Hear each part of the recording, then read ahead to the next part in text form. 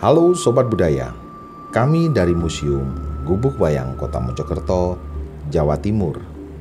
Hari ini kami memperkenalkan topi wayang potehi.